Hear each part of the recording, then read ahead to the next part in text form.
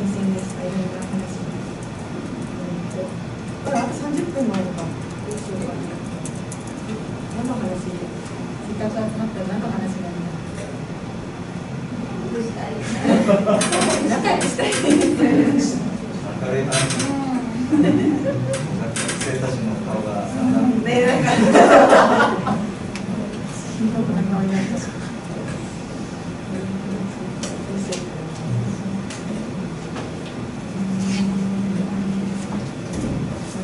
東アジア共同体についてどう思われているかいろいろお聞きしてああ、はい。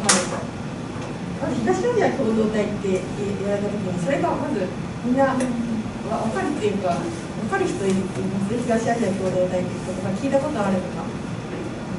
ある。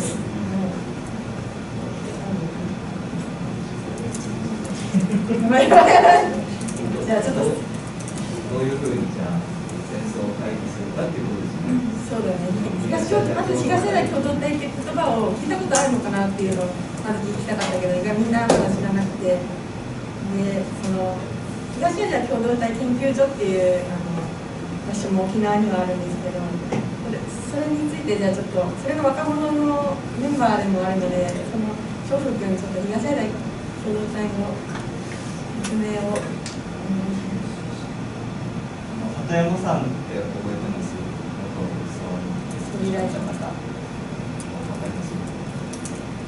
が総理辞めてその後あのどうにかして東アジア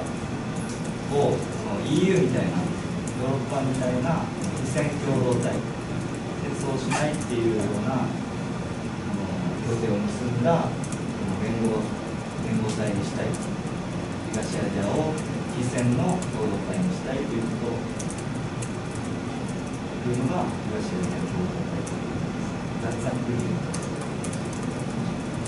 だから協定を結んでしまえばお互いのやっぱり分分離もしっかり縮小していけるしそういう具体的な提案をしていくことが大事なのかなと思うんですけど皆さんはどっちがいいですか？やっぱゴリゴリ分離持って軍隊持ってやるのかお互いがしっかり協定を結んで手をつなぎながら文化とかいろんな交流をしながらしっかり分離を縮小していってその分をもっといろんな教育とか子育てとか環境エネルギーとかそういうことに予算を使っていこうねっていう世の中どちらの方がいいかなっていういいですか？ということでもそうだね、そういう話を聞きたいです。どう思いますか。一般人戦争を起こしたくない気持ちだけでもありますでもなんか利益とか権力がある限りそれは無理だと思いますね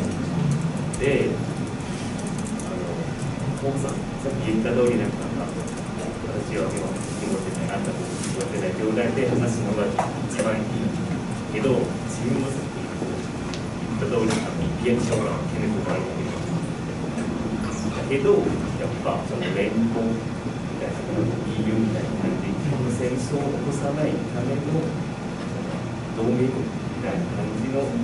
まあまあまあ、なんていうか、だからそんな形でもいいかな、今の状態は。できればできれば、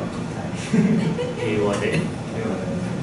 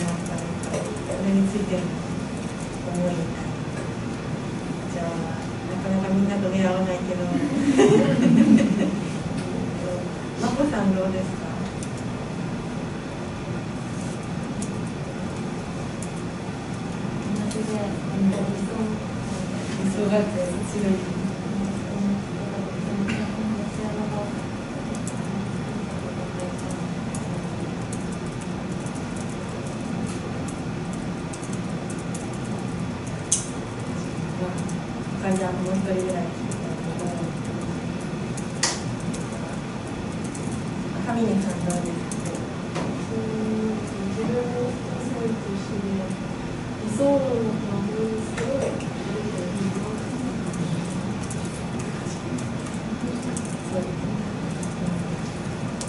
かなか今の状況ではちょっと想像しづらいけど、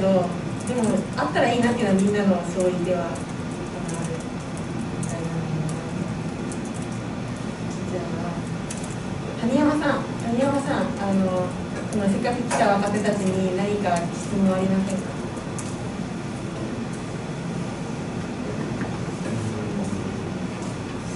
谷山さんはあのずっとえっといろんな海外で4年間アフガニスタンにいたりとか対話をずっとされてきた方なんですけど谷山さんから。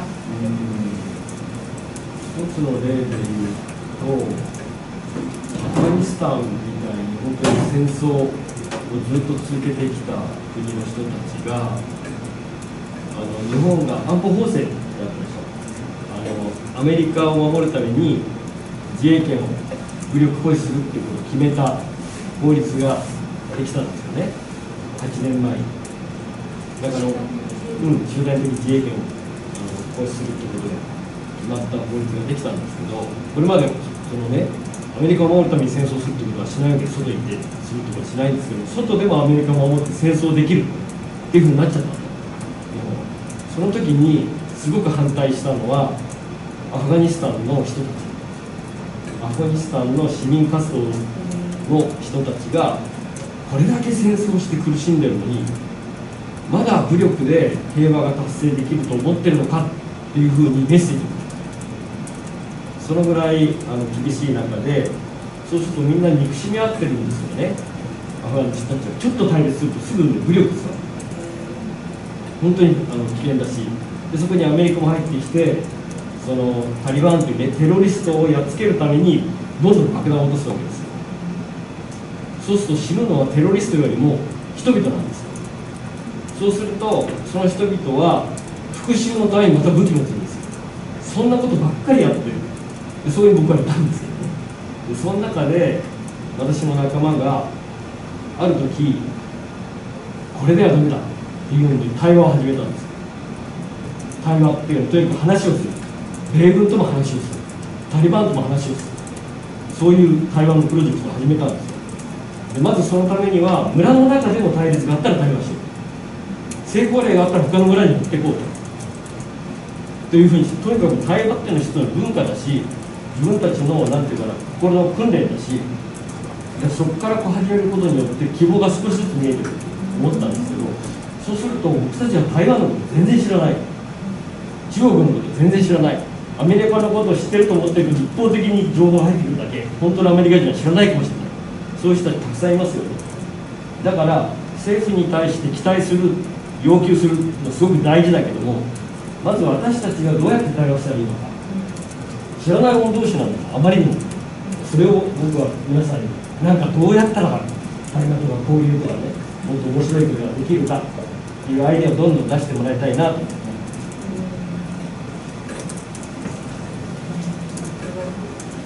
すごい説得力がありますよね。やってきた方も。どうやったらみんなで対話できるのか、うん、なんかこの話を受けて谷山さんに質問があったりして なんか自由なんですけどなんか何なんか何がいいかなどうしようえその谷山さんが聞きたいのってな何ですか俺この前だってあの若者の中にもいろんな意見があって沖縄の中なんだよ。だからそれから若者とシニアもやっぱり意見が違ったりだとか対話がないわけ。あんまりないっていう話をみんなでしたんですよ。若者とシニアとしたの。そしたらとにかく音楽とかね。そのもう難しいことをすぐ始める話をしなくても音楽を交えたりだとかいろんなアイデアが出てきたりしたんですよ。それを国境を越えてやろうっていう人たちも出てきたね。中本さんはもうやってるけども他にも国境を越え対話の人たちと対話したい。若者同士で対話したい。そういう場を作りたい。そういう話が出たのでなんかそういう、うん、どうしたら仲良くなれそうそうるかっていそうそうそういう場を作ったりだとかね。みんなを巻き込めるか。どうしたらみんなを巻き込めるか。そうそうそうそう。対話に。それ大事ですね。じゃあどうしようかほほさんどうどうどうですかね。どうしたらその中国と沖縄とか日本とかが仲良くなれるっていうか対話できるようになるかな今一つ参加するのは残対話対話したい対話したいとしたら同じレベルの人でレベルというレベルっていうのは知識何のレベル知識の方が暗い暗いか、この戦ってもなん。か負ける気がしないという印象だしこそなんかうまくいく対話する可能性があるでしょう例えば私とアリは対話することができませんでしたあれは弱いですから、対話すると、なんか同じ根底に立つですが、仕事を持ってませんですから、無無力が全部なしにして、なしのことにして、無力な対話したら何を基準で、どうなどうなのか、本当に本当として対話することができます。かどんなのに？私が耳が悪すぎて では、私、無力のなしなしのことにして、あの、さあ、体ができるから、分離分離の力を全部なしにするようにして、人の人のみんな捨てで、捨てるままで対話するような場合としたら、何を天秤天秤として、この基準を測るべきですか人とあり、人とありも対話できる私も本当に思うんですよ。ああそれ僕言ってることちょっとわかる。なぜかというとあの政治の世界ではそういう考え方をすごくするじゃない。ですかだから相手と対話するためには自分の力を持たなきゃいけないって。相手が武力武力を持ち始めたら対話するんだったら同じぐらいの武力にならないとか。そしたら相手も武力相手が武力を持ち始めたからまたもっとちゃんと武力を持たないと対話の条件がないってだんだん競争になってきたりするけどそれをやめなさいっていう時にやっぱりそういう政治とか権力の対話ではないわけです私たちは市民市民一般人一般人が対話するっていうことはそういう条件を取っ払うことだからそこに可能性があるかなとい。うふうに思う政治の世界って結構力の関係があったりするけれどもまず市民からの対話っていうのはそういうこう条件を一回取っ払わない自分たちの持ってるものを取っ払わないと相手がちゃんと心開いてくれない。おっしゃったとしても、あの政府と一般市民の間には本当につながります。例えば、中国とあるいは中国と日本政府の間には関係の水ないん。ですよね。でもこうやって実際に私たちは、私たちちょうど違う日本の方々が日本語で座って、仲良く話すことができる。うん。そうだねそれはどうしてですか政府と政府と全然なん。か同じ方法で動くわけではありませんですけど、けどねですから私たち一般人が発言したらどうやって政府と私たちの声を聞けますか？確かに分かりますね、今言ってることね。あの今あの、私たちが対話、対話って今、谷山さんも一緒に対話プロジェクトってやって、あの今、皆さんのこの企画をしたのは、若者の間で対話をすることによって、あの例えばあの中国台湾香港それぞれ考え違うのでその考えを出し合いながらお互いを理解してこの今の危機についてあの何ですか考える機会にしながら何か一つね戦争というものを避けるためにどうしたらいいかっていう話し合いができないかなっていう形で企画したんですけど確かに彼女が言う通り本来は政府がやるべきなんですよ対話は。平和外交の一つとして。だけどそれがないものですからせめて私たち市民の中でもそれを作っていかなければあの政府も動かせないっていうのがあってあの例えば沖縄県内でもいろんな考えの人がいて自衛隊が国を守る。いや自衛隊は逆にねあの他国を刺激して戦争に結びつくとかこれでも違いがあるし。で中国が台湾有事作るっていうのといやいやいやアメリカが台湾有事作るっていうのでも全然違うし。いろんな意見の違いがあるわけね。いろんな違いがあるけれども対話することによってお互いがでも戦争は嫌だよねっていうことでじゃあ戦争嫌だったら何ができるかってことをやらなければ何も始まらないお互いが意見違うだけでわわわわしてるだけである日突然ドローンとなって戦争になるんじゃないかという危機感もあってあの市民の中から谷山さんも皆さんあの市民の中からやってるんだけどもただ若者が何も今わからない人たち多いじゃないですか。先ほどねあのトムさんみたいにあの有事って何みたいなことからだからまず若者の間でも話し合うことによって今の状況何なんだろうって疑問を持ってでお互いにあの持っている知識をいろいろ出し合ってで勉強しないし合いながらおかしいんじゃないとどうにかしないんじゃないしなきゃいけないんじゃないっていうのを作りたいなっていうのもあってのこの企画なんですね。であの名誉教育やったのもそれだったんです。沖縄の子たちなのに沖縄のこと何も知らないねって。やっぱりこここういうところでであまりあの自分の頭で考えないねって。すぐネット見るねって。だからあの自分の頭で考えてお互いに意見を言い合う場所を作ろうってことをこれもやったんですよね教育。だからその2つを田代先生がやりたいねって言った時にまず今の状況この危機的状況だから留学生もせっかくいるからお互いに話し合って何かねあの若者が今の状況を考えるきっかけになればな。でせっかく他国からね他の国からも来てるからそれぞれの思いを出し合ってお互いが学べればいいなって中国ってこんなふうに考えるんだって。だから私も江さんの先輩が私に1年前に言ったんですよ。先生ウクライナ見てて思ってたんですよ。アメリカがねどんなに挑発しても中国人我慢我慢してます。と、そういうことを聞いた時にあもうね中国の留学生がもうこんなふうに考えてる。でも沖縄日本の学生って何も考えてない。これでいいのかなって思ったのもあったんですね。今回いろんな国とかいろんな世代みんなで聞けたのすごい私としてもその勉強になったなと思いますけど、ね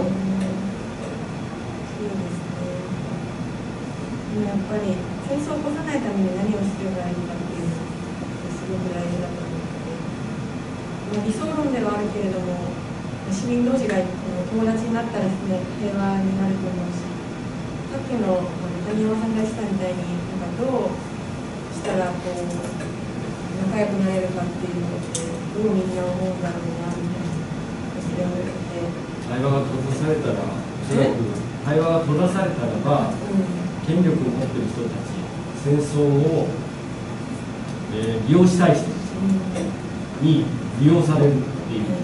うに僕は思っているので対話はとにかくこういろんな形でしなきゃいけないしあのそれをしあのすることによって政治が動くというか歴史的にこれまでいくらでもあるわけですよね。経済人、経済交流ってすごく日中の今回って大きかったんです。影の外交と言われたぐらい。それすらも今なくなっちゃった。だからもうか経済人も頑張ってほしいし、市民も頑張って交流しなきゃいけないし、そういう意味で聞いたんですね。そういう話をぜひなんか学生の皆さんの話を持って聞きたいなと思います例えば一方ではそのそもそもあの市民から政府と対話ができない状態でじゃあどうやって対話するん。だろうって話が出てきて、まあ、確かにそうだななかなか政府が動いてくれなかったりすることもあるだろうなってすごくあの感じました。だからあの、まあ、実際対話ってそもそもできるのか、下存在の方がどれだけできるのかっていうのをちょっと皆さん。で話していたい。大学生たちじゃあさきさん。どうでしょう若者たちがじゃあいざ対話したいと思った時に自分たちの力だけですぐ国籍の違う人とコネクションを取れるかって言ったら全員がそうじゃないと思うんですよ、なのでまずその機会場所を作ることが大事だと思うので、今私がパッと頭に浮かんだのが私群馬県出身なんですけど、出身の高校が台湾の、うんと、高校中学校高校一貫校って姉妹校だったんですよ。でそれで、えっと、私たちの修学旅行先が台湾だったので実際にその姉妹校の学校に行って、えっと、一緒に関わって今だったらインスタとか台湾だったら LINE を交換して友達になったりして今も実際つながってる人たちがいるんですけどやっぱりそのまず機会を作るために学校とかそういう場所が若者たちが違う国籍の人たちと関われる場所を作るっていうのが現実的なんじゃないかなっていうふうに私は思いました。そうです場所の無料でよっていろんな留学生とかも、何かこの授業とか、授業以外で何か話を伺って、なんかこの学生間で話し合う場面とか、そういう機会ですね。留学生とそうですね。なんかそういう時代を関わる関わる機会がある海外の留学生たちとのイベントがあったりとかなんか授業で一緒になったりとかあります授業の一緒です。アルバイト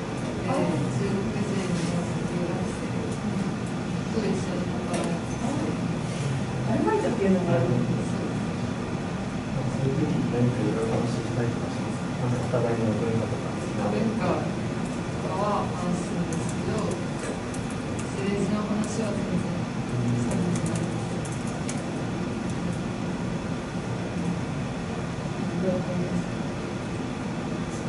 ごく感じてるのがやっぱり友達同士では政治をまず出てこないんですよ最初のいろいろテーマ話題としては。でやっぱあのなんかなんていうかな政治に関わってる人がこんな場を作らないと話さないんですよ。なんか友達に急にああ台湾有事についてどう思いますかって聞いてくださって。だからまあ一応留学生たちと日本人学生たちが関わる場があるんですけどそれはただなんか文化のみたいな政治の話がそのあのこれは香港ではどうなんですか香港の場合は政治の話とかしてるんですかなんか香港っていうよりもやっぱ政治の話は危機感感じた時にしかしないっていうのがリアルじゃないかな。2019年の香港だった再臨学200万人でもの時はあの現地に行って写真とかいろいろ撮って映画の話とか聞いたんですけどその時に中学生とかがなんかデモとか参加しててでその期間を見てあの子供たちがあの参加したのを見たっていうのがあってそこで出会ったあの東京の大学に留学している香港人の学生が話をした時に、まあ、ちょうどあの県民投票とか沖縄であの米軍士官に入る話題とかもあってあの日本人の学生に香港と中国の関係を説明するときにあの沖縄と日本の関係に例えて説明するよって言われてその時にあのびっくりしたのと同時にあなるほどなみたいななかなか沖縄がその沖縄の状況をなんかきっちりなくなってほしいって言ってもなかなかあの変わらないというすごくやっぱ政府に対してでもなかなかこうリアクションがないみたいなので香港の学生になって気づいたんですけどなんかそのなんか沖縄に住んでいる米軍との関係だったりとか、あのそういう関係どのようにあの関係なのか。3年前ですね、19年の月は大体なんか結構聞かれたりしますよね。あなたどう思いますかその月はね。で、今になってくると2023年になってくるとほぼなんか、うん、なんだ、終わったみたいなそう気持ちになってて、もう話さなくなってるんですよ。政治について。もうあの海外、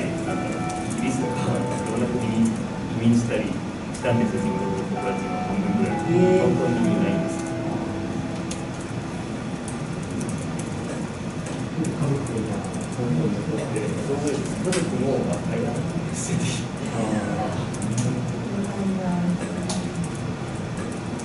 帰ってくるんですさっきの沖縄とその沖縄と日本とその香港と中国のその似てるっていう話があったんですけどどう似てるとこは確かにあるうん長くなっちゃうじゃあ後でちょっと詳しく聞いてみよう。もう8時ですか。8時だ。健吾さんどうしましょうか。あ、あのですね、あのもうすぐビザは届きますが、あのあのですね、あの私ちょっとあの谷山さんにちょっと質問したいのは、谷山さんからのハウスワンの話を私 FM ギノワンっていうラジオ番組をちょっとやってて、ちょっとゲストで谷山さんを誘っあのゲストに迎えた時に。アフガニスタンの話をいろいろ聞いてとっても感銘を受けたんですけど、その中で彼が戦争は作られるんですっていうことを言っていてこのフレーズがすごくあの心に残ったんですねつまり谷山さんはアフガンで戦争が作られる様を見てきたんだな。なのでちょっと谷山さんに戦争作られるの意味をちょっと。あのアフガニスタンだけじゃなくて、えー、と私は、えー、湾岸戦争の時にも、えー関わっていたし、それからユコソボ紛争、コソボ紛争もひどかった。知ってる？あのユーゴスラビアのコソボ、コソボのアルバニア人をセルビア人が弾圧したっていうんで、それを、えー懲罰するために、NATO がユーゴスラビアを空爆した。コソボ戦争、コソボ戦争。その時も戦争は作られましたし、あれは止められた戦争だったんだけど、あのそれをあの止められないようにした、そして空爆したっていうのもあったし、その後のイラク戦争、アフガニスタン戦争もイラク戦争もそう、パレスチナの戦争もそう紛争もそうですけど、やっぱり戦争の現場にいると、日本での報道とは違う事実が見えてきて、そこから政治はどういうふうに動いていて、どういう政策があるのか、何を報道してないのかっていうことが見えてくるから、あのこれは作られてるなってすぐ分かる。で大体パターンは同じなんですけど、あのえっと、状況は違うけれども構造が同じっていう意味で戦争は作られる。でそれは本当に私たちは戦争が起こったら中国の人も台湾の人も沖縄の人も日本の人も被害を受けるわけですからあの自分を守るためには避難訓練ではなくて戦争がどういうふうに起こされているのかっていうことを見抜くことなんですよね。見抜くこと。でそれはこうあの大手のメ大手ごめんなさい大手のメディアメディアだけではなくていろんな情報をあのこう比較したりだとか話し合った中で訓練されてるから普段こういう話してないとするとおそらくそういう戦争が作られるっていう感覚は作られない作られないいます今あの私すごい危険な状態にいるからその感覚を本当に磨かないと危ないと思ってるんですけどそれを戦争リテラシーと言います。だから対話って楽しい対話がすごく大事なのと同時にそれを通して戦争リテラシーっていう違う意見をねあのぶつけ合うっていうのがすごく大事。そしたら見抜く力が養われる。少しでも、うん、だ考える力と見抜く力。で情報を一方的に受けるんじゃない。っていうそういう。それをでもその現地に行くのってなかなか難しいじゃないですか。日本で見抜く力ってどうやったら増やしそれは違う人の意見を聞いて、まず自分を一回疑いながら、そしてまた自分を作り直すことです。なるほるほど意見を聞いてやっぱり話し合わないと広がらない感じです、まずそこが話し合う場がないっていうところがまたどうしようっていうところです、だから楽しい対話って本当に大事なことだと思うのでそういう場を作る違うただあのメディアが一方的に要するにあのメディアが偏っているとやっぱりそこの国の人たちってほぼ同じ意見で違う意見がなかなかなくなっちゃうなななるんですよそれが今の日本の状態じゃないかなと思っててじゃあその中でどんなふうにねあの伝わる例えば伝わっている中国と伝わらない中国があってで伝わっているロシアと伝わってないロシアがある。んだけども一方的によく伝わる情報はあるわけですよ。だけども分からないでそれに浸っているとそれが見分けられなくなってじゃあどうしたらいいかってあの私はちょっと他の人に言われたらあなた英語やってんだからもっと英語で世界のね情報をゲットしたらいいですよって言われたりしたんですね。結局イージーに日本のメディアだけを見てたらわからないもの。が多い。偏ってしまうだからやっぱり私も、まあ、時間がないのであれなんですけどやっぱりあの例えばアメリカのタイムだけを読むんじゃなくって他のあのマイナーな国の新聞とか何かを聞いてみるとかをやらないといけないんだろうなとか私はあのある意味ラッキーなことにあのカナダとかちょっと他の他国にいるジャーナリストの人たちというかのちょっとリンクがあって情報をもらっているのでやっぱりその分分かってきているのかなっていうのもあるしあと一つは日本のメディアといってもまだね出版はきちっとされてると思うんですよ。いろんな意見が違う本が出てはいるのでだからその本を読むやっぱり読んで読むっていうまだ出版が健全なのであの違う意見の本を読むっていうのもいいのかなと。今でも SNS 時代だからどれどれが正しくてどれが間違ってるかっていうのも多分考えるの難しいんで、だから本質はじゃあこの戦争で誰が得するのっていうのを考えたら本質がすぐ分かるんですよ。ウクライナ戦争を起こして誰が損してるの？死んでいくのはウクライナの人でね？あのある意味言っていたりとも残さず戦えみたいな感じで言ってるのは誰なのって感じでロシアロシアって言ってるけどロシアの若者もどんどん死んでるよねって経済もどんどん落ち込んでるよねとかね考えた時にじゃあ次はどうなるの日本と沖縄と中国とアメリカと出てきた時にじゃあ誰が犠牲になるの誰がそうするのって考えたらもう本質が見えてくるだからとてもシンプルだと思うんですよ物事の本質って。だってみんな自分の欲のために動いてるから自国の利益のために。どの国が利益をもらうの？って考えたらもう本質わかるわけですよ。だからニュースで例えばあのドイツがあロシアからあの原油を引いたパイプがあってそれがロシア軍によって爆発されましたって言った時え？そうですか？って。すぐそれをあそうですと受け受け入れる人とそうかロシアがパイプ爆発したんだってね。あのね思う人とあれあれって爆発したら誰が損するのって考えたらあらロシアがやるはずないじゃんって。だからシンプルに誰が得するのかって考えたら分かるけれどもニュースは違うことを言ってくるからっていうのがあると思う。意外とシンプルじゃないかなとも思いますね。だからいろんな情報を得ながらも物事は意外とシンプルなんじゃないかなで特に沖縄みたいに危機的な状況にさらされていたら本能で分かるんじゃないかなと思ったりするなんかさなんかねなんか違うかな違うかないいですか？あ、あの鹿児島大学で平和学32年を教えてきた木村と言いますあの今インターネットメディアで、えー、ISF 独立言論の編集長もしているんですが、まあ、谷山さんの言われたことと今柳本先生が言われたこととも関連するんですけれどもやっぱり平和学を教えるときに一番僕が重視してきたのが情報操作とメディアリテラシーで戦争の最初の犠牲者は真実である。あの戦争は作られるという子供のあの言葉もありましたし戦争は老人と金持ちによって作られて若者と貧乏人が死ぬと。これ普遍的な古今東西普遍的な流れでそうなっていると思います。でなぜ戦争が作られるのかという根本原因を考えてるようであんまり考えてない場合が多いんではないかと。よくあのユネスコ憲章じゃないですけど心の中にねそういう憎しみがあって対立が起きてって説明されますけれどもそれは非常に表面的でですね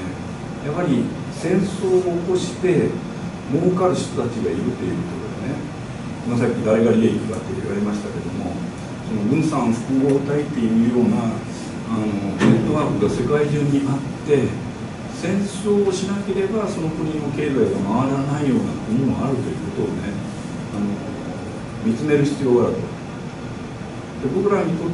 ての常識は必ずしも皆さんにとっての常識でもないかもしれませんけど世界平和にとっての最大の脅威はどこか。僕はアメリカとイスラエルだと思ってます。でそれに協力しているのが実はヨーロッパではイギリスが一番突出してますけれどもアジアでは残念ながら日本なんですね。でもアメリカとイスラエルそして日本とイギリスが世界平和にとって最大の脅威だと認識している人はですね日本人の中にどれだけいるのか非常に心もとない。必ずしもですね僕平和学会にも入ってますけれどもその中でも共通認識になってないということがあります。でやっぱり自分の頭でですね物事を考えるということが一番大事で今日のお話も非常に貴重なお話の機会だったと思いますけれどもやっぱり共通の情報を共有する事実を共有するということが一番あの大事だと思います。それでやっぱり一つでもね多くの情報源や信頼できる人や信頼できるメディアを作っていただきたい今インターネットの時代ですからいろんなあの情報型で、まあ、難しいんですけどどれを選ぶか業績混合ですけれどもそうした中でも何回も騙されて間違ってそうしてだんだん近づいていくと真実に近づく方法を徐々に身につけるということをね皆さん方にもぜひあの心を見ていただきたいということです。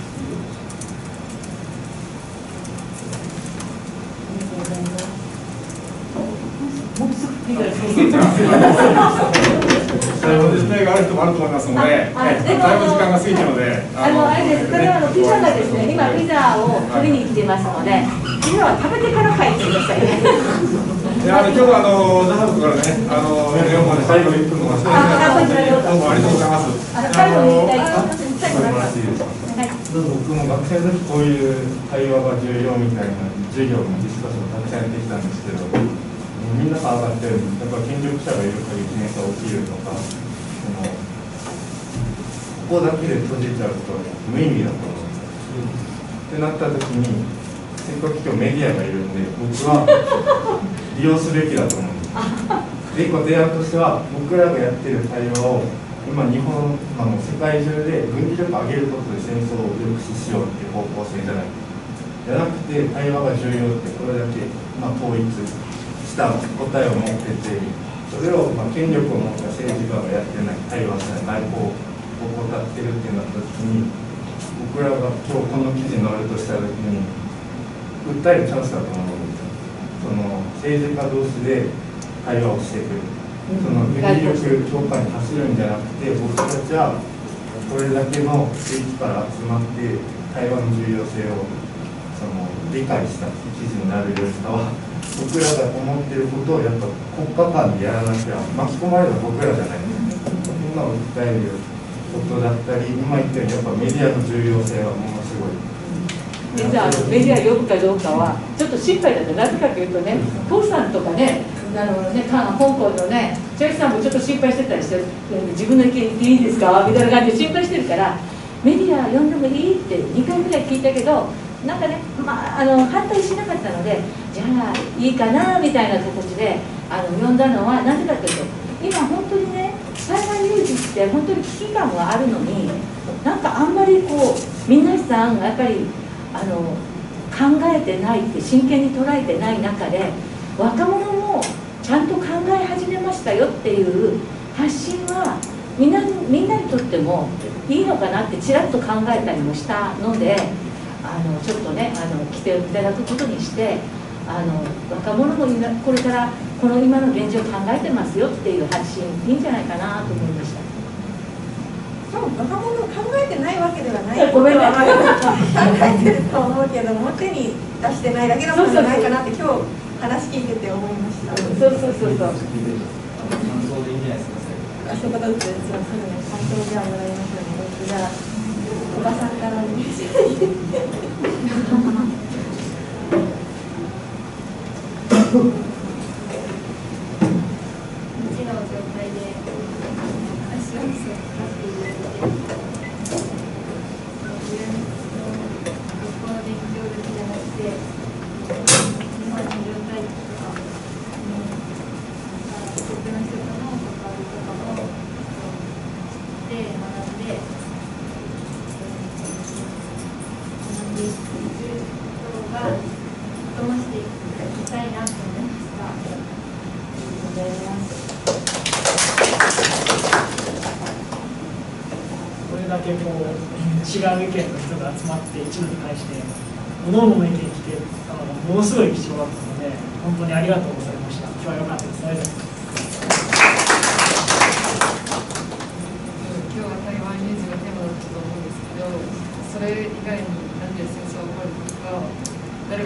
例えばやっぱり義塾弱い人たちが損するなとかそういうことを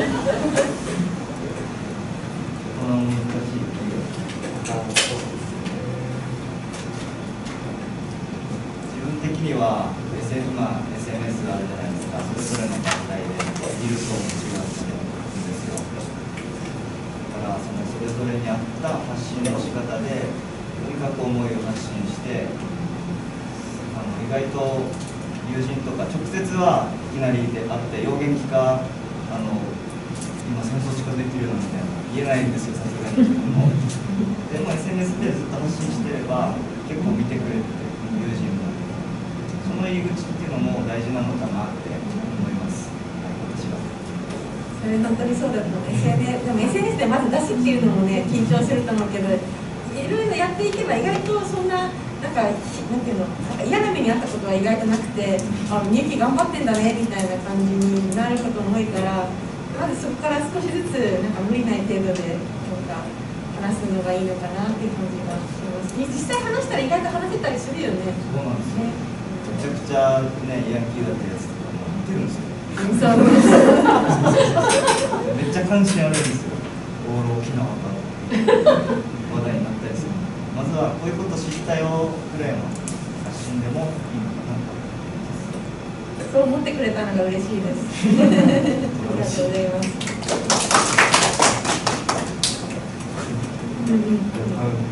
さっきおっしゃってた老人が戦争を起こすものだと思うんで若者がどうやって対応しますかっていうのが怠った結果が多分戦争につながると思うので僕たちは対応を続けなきゃいけない。と思うそれをやっぱ誰かが外に発信しなきゃいけないと思うのでそれが継続化することが重要かなって思います。ありがとうございます私から言えば永遠の平和とかそれは本当に世の中のことなんですけどでも夢大以上しかも素晴らしい大会の人が追いかけて実践する人にチャレンジしたことが持つべきと思いますそしてどの変化がないということの会話がもしもし実実際のちっちゃいのがスタートになればいいかなと私は思います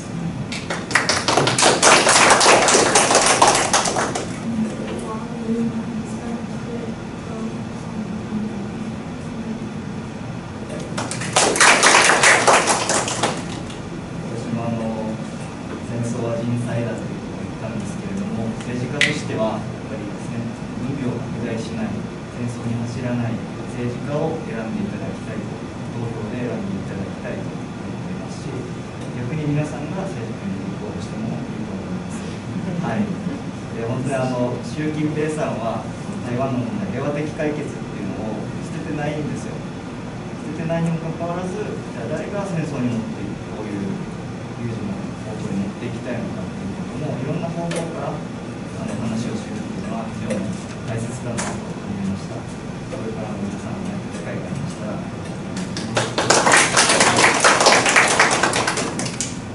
今日は皆さんのいろんな話聞けてすごく嬉しかったですあの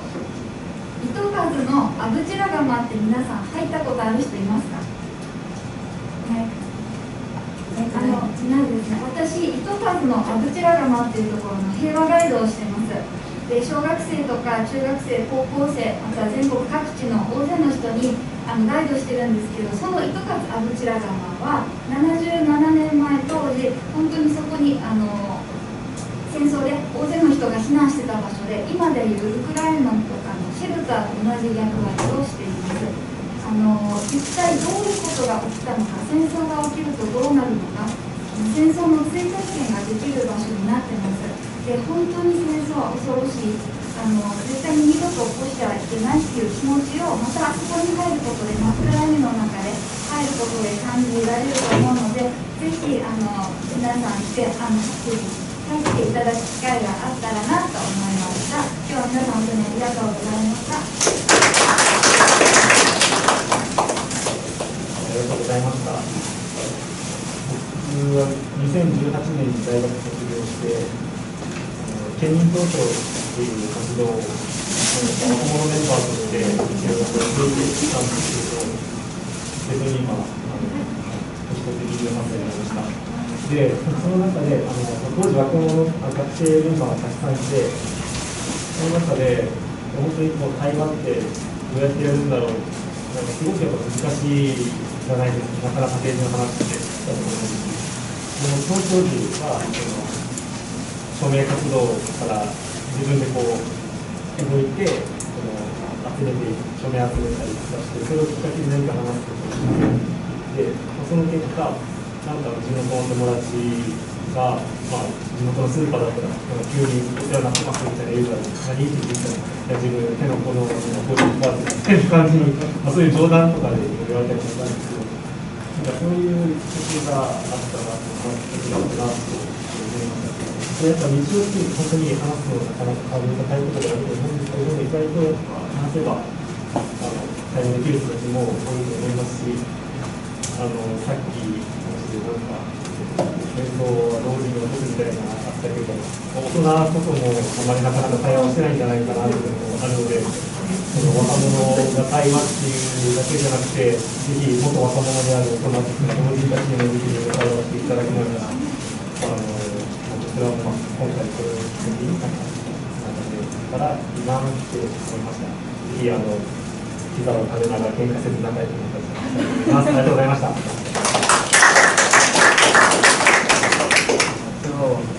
いろいろな友人が来てましたよね。初めて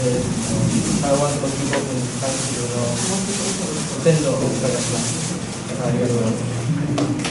す。いろん。な意見を聞いて、やっぱりすごいなって思います。